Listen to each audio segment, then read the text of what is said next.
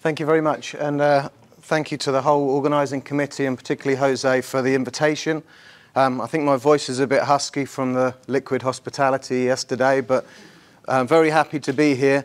Um, I'm going to jump straight into this. Um, as you heard, it's about nutrient timing and metabolic regulation today. So this is all on one screen. We've got this shared experience of living on this rock spinning through space where we all experience pretty much 12 hours of light and dark over the year.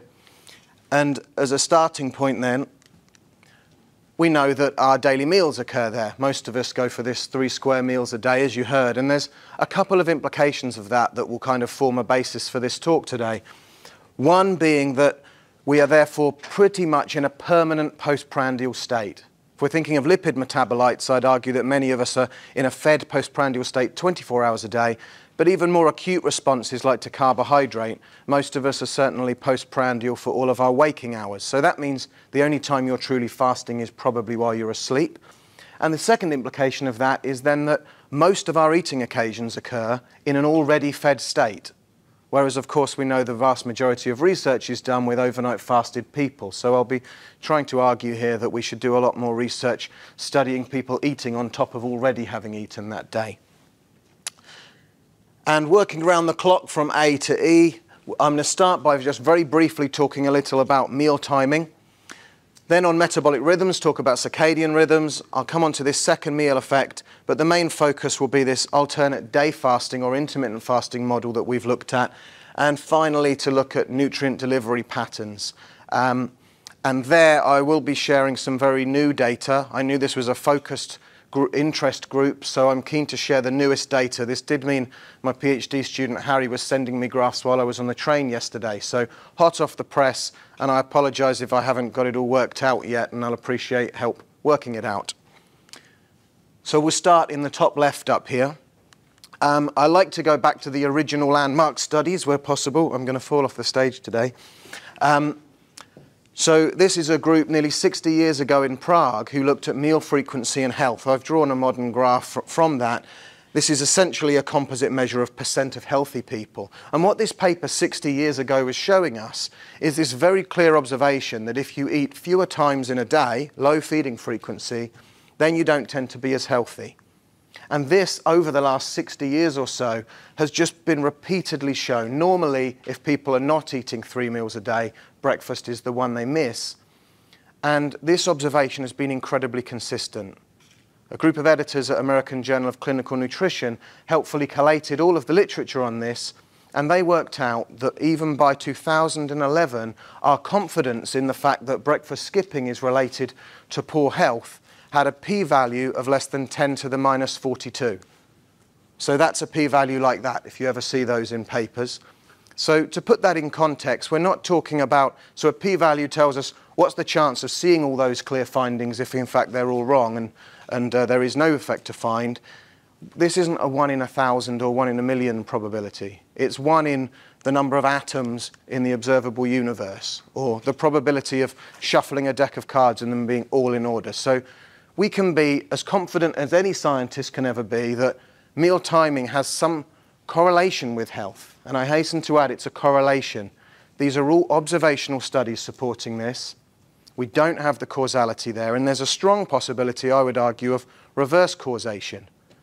So, what does this mean? It means what we need to do is move on from those cross sectional associations and start to study meal timing with causal intervention studies, randomized control trials, with control, carefully administered interventions, and I would argue also mechanistic measures so we can understand how the physiology is regulated. So I'll try and show you some of those studies today that, that we've conducted at Bath. I'm not going to talk at length about circadian rhythms, but suffice to say, I'm sure you've uh, read about them too. This is repeating cycles of metabolism and behavior on a daily basis and your body learns these rhythms from a number of stimuli, but the core ones are here. These repeating cycles on a daily basis of light and dark cycles. As I've mentioned, then we have photosensors, particularly in our eyes, but not exclusively, that tell you when it's light and dark. That's closely related to sleep and wakefulness or rest and activity. And then critically, when we're thinking about meal timing today, we know that these fasted, fed transitions on a daily basis. And all these different cycles then can either be synchronous or asynchronous with implications for health. If you're interested in looking into all of the kind of elegant molecular machinery that explains that, then my PhD student Harry, uh, Harry did write this um, review in March this year that really talks through all of the, the clockwork in our cells, and I think he did a great job on that. Um, I'm going to talk now about the studies we've done on this. And my rationale for the studies we've done is, is really twofold. One is people haven't studied humans a whole lot in this area. There's a vast literature on rodents that's been really invaluable in understanding mammalian physiology in the mammalian circadian timing system. But I think there's a few key things there that justify looking at humans. One, rodents are nocturnal. So they eat at night, they're active at night, and they, well, they pretty much eat continuously 24 hours due to their relatively fast metabolic rate for their mass. So they do need to eat continuously. They react to fasting very differently to humans in some ways. So we need to study humans there. And also then, a lot of the studies that have been done in humans have involved quite extreme changes in where the sleep occurs. So what we wanted to use is a model called there's constant routines where you keep people awake and feed them through the night. And Surrey do some wonderful studies in that area. We wanted to do a semi-constant routine. This means we had participants in the laboratory for 48 hours straight. In daytime, normal daylight hours, we've got 800 lux on the lights, but then zero lux at night, and they've got that sleep opportunity. But we fed them continuously during daylight hours. These were oral boluses, so they're having a meal replacement just continuously during waking time. This is Iain Templeman, who ran these studies. And you can see here what we're doing is we took muscle biopsies serially throughout the entire period. So we're stopping, taking the biopsy from people, including during sleep. Of course, they do wake up for a muscle biopsy, but we've got this down to two minutes or so, that it's just a quick wake up, biopsy, back to sleep. And we've got good data to show that that short wake up doesn't completely invalidate the entire model. So I'll show you two elements of the data from this study then. Um, on the left is the muscle data here. This was a study you'll find in PNAS that we published looking at the lipidomic analysis of those muscle samples. I've picked on sphingolipids here because anytime you hear omics, there's going to be hundreds of figures. But these sphingolipids were really a typical response for all of the other class and species of lipid metabolites we measured, showing this nadir in uh, availability at about 4 o'clock in the afternoon and the peaks about 4 o'clock in the morning. I pick on the sphingolipids because they're particularly interesting as a membrane lipid involved in insulin signaling and regulating glucose uptake. Moving from the muscle then to some blood data, just to orientate you to this figure because I show a few like this, the greyed outline in the background is our melatonin response. So that's, I wouldn't say the word master regulator, but this is a very robust controller of your daily rhythm. So it's interesting to see that that's doing the expected bell-shaped response when people are asleep in the dark. This paper we had in JAP, we reported leptin and I believe for the first time ghrelin, our hunger hormone, concentrations in the context of this semi-constant diurnal routine. So we can reveal a diurnal response here whereby leptin drops during the day and comes up towards the end of the day, and ghrelin shows the opposite response, kind of consistent with this broad, maybe oversimplistic view that leptin is for satiety and, and ghrelin is your hunger hormone. But what I really wanted to show you, because those two are published, but for new data, some of the new results we have in the, just the last couple of days is um, uh, Harry Smith here is just pre preparing this for publication, is a few other blood markers. So starting in the top left here, you can see insulin in the same context, and that's rather predictable. We're seeing a diurnal response here whereby insulin is elevated when feeding. You withdraw the feed because people can't eat while they're asleep, or can they? and then it drops down lower down. So we don't know from this study, as an observational study, whether that drop is something diurnal or the withdrawal of nutrition. I suspect the latter. Looking across the bottom, we can ask questions about the catabolic, anabolic milieu in the body. So cortisol and testosterone are well established to have a circadian rhythm, and actually here you don't see any acute effect of the withdrawal of nutrition at night. They're both doing what they're supposed to, elevating towards the morning. But I don't know about you, when I think about anabolism and catabolism in the body, we tend to think about muscle because it has this capacity to um, expand and be lost. But actually, it's important to think about bone turnover too. So we were happy to collaborate with Dave Clayton at Nottingham to get this CTX marker, collagen telopeptide crosslinks. This is a measure of bone resorption, so bone turnover. And you see here a really robust rhythm where that drops down during the day and then elevated at night. So keep that one in mind because just like with insulin here, right now we can't say whether that was due to dark, sleep, or the fact that nutrition was withdrawn at night. Because to, to separate those things, you would have to feed people while they are asleep, which I mentioned you can't do, but I'll show you a study later where that's, that's what we have done. And then finally, um, we have some gene expression here. Heat maps are always very pretty, but I don't find them super easy to interpret. Essentially what you're seeing here is a group of genes we looked at using PCR. The little clocks down here illustrate when we've detected rhythmicity, so it's encouraging that most of the circadian genes are showing that. Interestingly for me though, a lot that are implicated in carbohydrate and lipid metabolism come up, but also autophagy, which is a process I'll finish the talk talking about with some nighttime measures of autophagic flux. As I say, though, I don't find these heat maps super helpful in terms of seeing the pattern. Um, where you can see that pattern is if I zoom back out again, in the middle of the big clock here, this eLife paper, the circadian folks out there like to present these phase distribution graphs. So this is meant to correspond to the clock times. What we found through this transcriptomic analysis is through quantifying nearly 14,000 genes, around 6,000 of them in skeletal muscle, and I, I, believe these are the first data actually to look at this diurnal rhythm in human skeletal muscle. Showed, they showed rhythmicity over 24 hours, and about a thousand of those was really high amplitude, so if, if that means something. And interestingly, when you look at the phase distribution, we see accumulation of gene transcript at two core parts of the day, a kind of tick-tock, if you like, where there's this accumulation at about 4 o'clock in the afternoon and an accumulation about 4 o'clock in the morning. And when you look at that long list of genes, it does appear that the ones that are peaking in the afternoon seem to be those that we commonly see in studies when we're looking at muscle contraction or mitochondrial activity, so active ones, whereas the genes that are peaking in the nighttime seem to be more those that are implicated in immune function and inflammation. For now, I'd also just say keep that four o'clock in mind in the afternoon because the later study I'll show you, we kind of try and target that as a time to transition between feeding states. Okay, so very briefly, I'll just talk about the, this second meal effect, the fact that we get a different response to eating our second meal. This is sometimes called the Staub-Traugott effect after the two authors who arguably first observed it in 1921, although there's a couple of papers here from uh, 1919 and 1913 that observed this.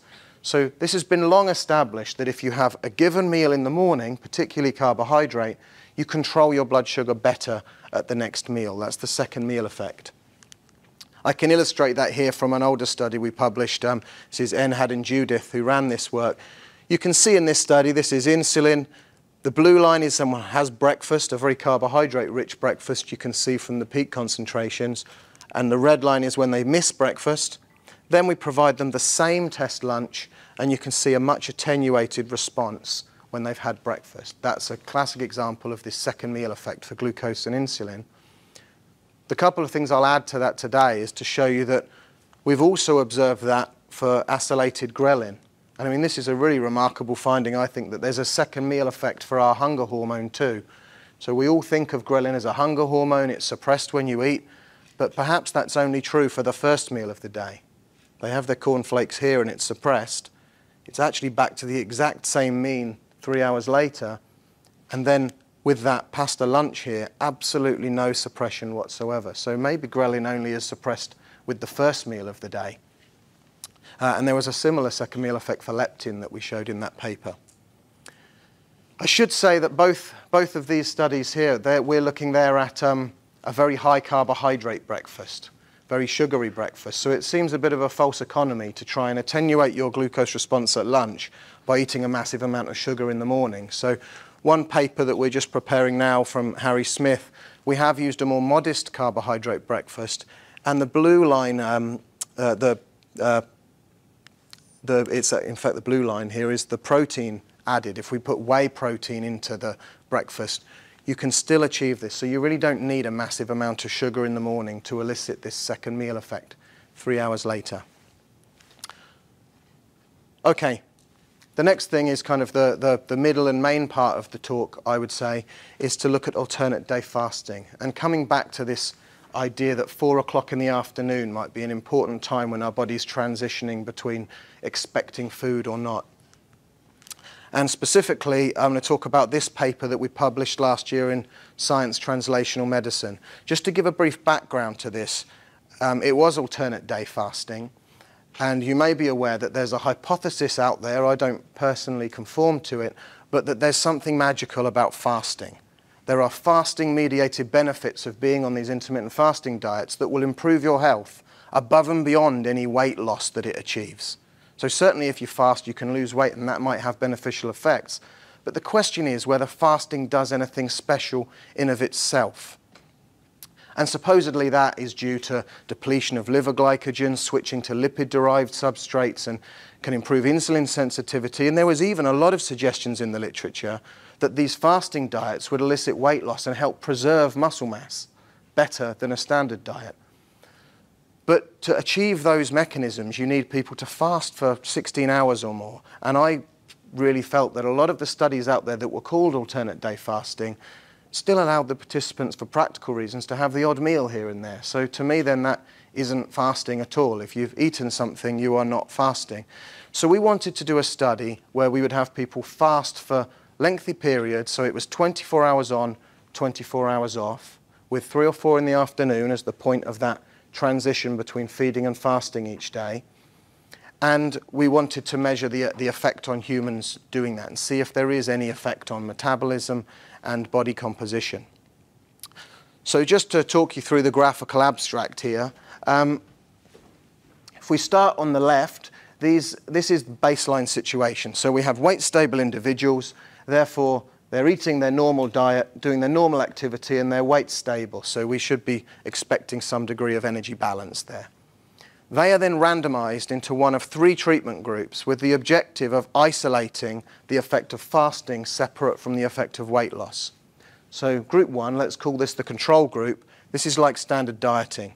They consume 25% fewer calories every single day for three weeks, and we see the effect. So that's 75% of their normal intake. The middle group here is alternate fasting with the same energy restriction. So they're going to restrict their calories by the same net amount, but by eating zero calories for 24 hours and then being prescribed 150% of normal. So the mathematicians among you have already figured out that that's a net 25% reduction, same as the first group. And then the most difficult group to be in, who I'm, who I'm most grateful to for doing this, they did alternate day fasting without energy restriction. So they would eat nothing for 24 hours and then eat double their normal amount of food. So they're then getting the same alternate day fasting, but without the energy restriction. I've kind of summarized the findings in the graphical abstract that while diet was reduced by the same amount in these two groups, and they did remarkably manage to hit that target here, physical activity is something that, that changed, and the body composition. So I'll show you those data here terms of physical activity, we use the Actiheart monitors. We find them really useful to get a, a valid measure of low to moderate activity in particular. And um, an advantage here is that it does tell you the intensity of activity and critically for us, the timing of when those activities were accumulated too. So on the top figure here, you can see that response. Let's start with the good news. If you're doing standard dieting, you can barely see the bar. So there was no change. Those participants didn't adjust their habitual activity levels when they were just on a standard energy restriction diet. When they were losing the weight through fasting, though, you can see that there was a reduction, and in particular, that was occurring during the 24 hours when they were fasting, which makes sense. And the brown part of the bar shows that particularly fasting in the afternoon is when being fasted seemed to restrict that kind of spontaneous low level activity for these folks. So you miss out on physical activity, And then jumping to our DEXA data, again, if we start with the good news story, if somebody is going on a standard diet, reducing their portion sizes by 25% at each meal, but not doing any fasting, over three weeks you get nearly two kilos of weight loss, but the DEXA informs us that that is almost exclusively adipose tissue mass. The bad news is if you were achieving that weight loss through the fasting-based diet, you lose slightly less weight, but while you're standing on your uh, bathroom scales high-fiving everybody that you've lost weight, what you don't know, unless you have a DEXA scanner at home, is that approximately half of that weight loss is actually fat-free mass, which most people don't want to lose when they're dieting. So it turns out that that hypothesis that fasting would maintain fat-free mass actually, in fact, the opposite is true. And I'm not showing the data here, but in the paper there was no differences between these diets in terms of any of the classical kind of clinical markers of metabolic health. So your cholesterols and uh, glucose and insulin didn't get affected differently by these interventions. Okay, and then the last thing for me to talk about today is this idea of nutrient delivery pattern. And this comes back to two things I mentioned earlier. One, I said, well, to separate out the diurnal effects of sleep and food, we'd have to feed people while they were asleep, which seems like a challenging thing to do. And um, it also comes back to this idea of autophagy, which I said I would refer to.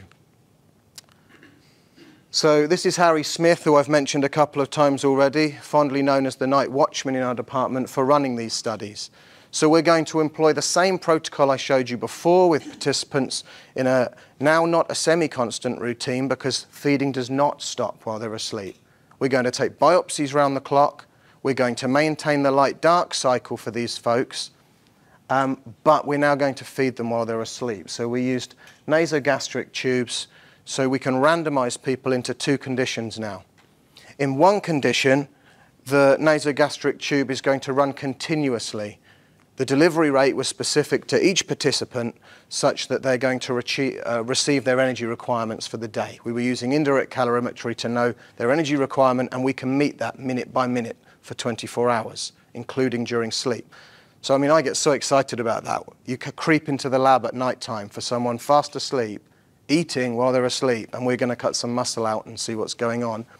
Um, but then the other group that we randomize they are going to receive the same energy requirements, but in a two bolus model, half at 8 a.m. and half at 8 p.m. The reason I selected two is that I want the most polarized comparison, continuous versus the minimum frequency possible. And you can't have just one bolus because then you haven't got a balance evenly over 24 hours. So two feeds is the minimum frequency that you can maintain a balance over 24 hours. And aside from our scientific interest here, I should tell you that there are just so many systematic reviews out there in the clinical literature calling for RCTs of this. Anyone you know who's been in critical care and had to be tube fed, which sadly was a lot more people than usual during COVID, but actually there's I think about 10 or 20% of inpatients end up fed this way at some point, and they will generally be fed continuously. If it does break, it breaks during the day. So we're completely taking this fragile person, and I assume, because there's no evidence, just to be gentle with them, they're fed slow and steady, when in actual fact then we're completely throwing their circadian system a curveball, because now food is going to arrive at night, and if it stops, it will stop during the day for any treatments. So yeah, needless to say, people are crying out for an RCT to understand better bolus feeding, versus continuous feeding, which is the default for no particular reason other than practicalities. Um, so like I said, same protocol as before. We have a cannula in, so we've got lots of blood data, but we also put the CGMS uh, continuous glucose monitors on people for the week before and after. And um, that's just helpful to me to illustrate the protocol. So you can see here with the bolus feeding, well, continuous seems to go under the radar all of that food's going in, but very little change. So homeostasis, euglycemia maintained. Whereas you can see the spike here with the morning feed, spike with the afternoon. If you're wondering why there's not a second meal effect, which I would, it's because there's 12 hours between them. So it probably doesn't persist that long. And we also know that individuals tend to be more insulin sensitive on waking, which probably explains the lower peak there. So that's the measures in the lab. Interestingly, though, we fed them the exact same diet the day before they came in and the day after. The groups are a little different even before they come in for the trial, but Harry's just been sending me some of the statistical outputs over the last 24 hours, and it looks like this breakfast response is different the next day. So those who've been bolus fed are not quite so insulin sensitive maybe the next morning, which I'll come back to, but I wonder whether the continuous feeding is almost, like I said, sneaking the calories in under the radar and the body essentially has not registered a meal arrival. So this is almost like someone fasted and still very insulin sensitive. Okay, so the last couple of minutes, I'm going to show you two sets of data from this study then. Uh, unfortunately, the muscle data are not ready. We had transcriptomics all done, but they're still with the bioinformatician. I've been pestering them for the last week to have data for you today, but I don't have that. We have some blood data from this trial, and then I'll finish up with the autophagic flux data. As for the blood data, if we contrast on the left plasma triglycerides and urea, it's interesting to contrast the two because the urea is showing us a very different pattern but same overall net response, right? They've still got the same amount of nitrogen to excrete over the 24 hours. Whereas with the triglycerides, you see if someone is fed continuously, like they would be in a clinical environment, you get this gradual creep in plasma TAG, whereas no such thing when they're having the bolus feed. On the left, I won't talk about the testosterone here because the feeding pattern has really done nothing there, but an interesting thing with going back to our bone resorption marker of CTX, is there's no difference between the treatments here, but remember when we looked at that first overnight study where feeding was withheld, there was this big increase in bone turnover at night. So this does tend to suggest then that the rhythm is still present, but the amplitude of it has been suppressed. So a big part of that increase in bone resorption at night is the withdrawal of nutrients. Whereas in both these conditions, they're either being fed or have just had a big feeding before sleep. Okay, and finally, autophagic flux. Um, so autophagy, everybody talks about autophagy. It's been recently shown to have a circadian rhythm in, in mice at least. Um, this is inherently related to nutrient availability. Autophagy is a homeostatic mechanism our cells use to survive when resources, nutrients are varying. So bluntly, if you're fasting, if you're between meals, possibly exercise, and there's limited resource, autophagy can be used by a cell to be efficient and essentially recycle substrates rather than be wasteful and use them. And that is achieved by having these autophagosomes that are going to engulf sugars or whatever else the cell wants to keep hold of and reuse them. Um, that's generally measured by Western blotting in the muscle of this LC3B protein, which would be a marker of autophagy in the muscle. Again, I don't have the muscle data back today. What I have for you here, though, is this autophagic flux data from neutrophils. So at night, at 8, uh, 8 um, p.m. and midnight, Harry, the student who ran this, would have to take the fresh samples and run a four-hour assay. So he was essentially up for eight hours through the entire evening. And what they look for in this assay then is essentially you treat the cells to block the breakdown of the autophagosome, and then through the ratio of the LC3B, you get a measure of autophagic flux. How much is your cell trying to recycle and capture? So there might be a rationale here to say, well, this group at their biopsy at 8 o'clock had been fed for 12 hours straight. The food is still arriving and we take the biopsy whereas this group haven't had any food for 12 hours. So you could have a reasonable hypothesis this should be higher.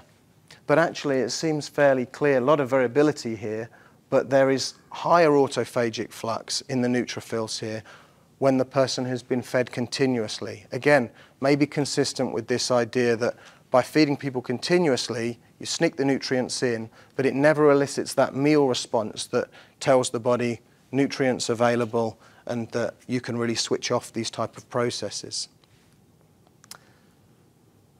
So I always have to apologise at the end of a Prezi because it's a busy screen at the end, but you can see the journey we've been on, talking about meal timing, circadian rhythms and some new data, advocating that more research is done on second and third and fourth meals in the day rather than just testing previously fasted folks.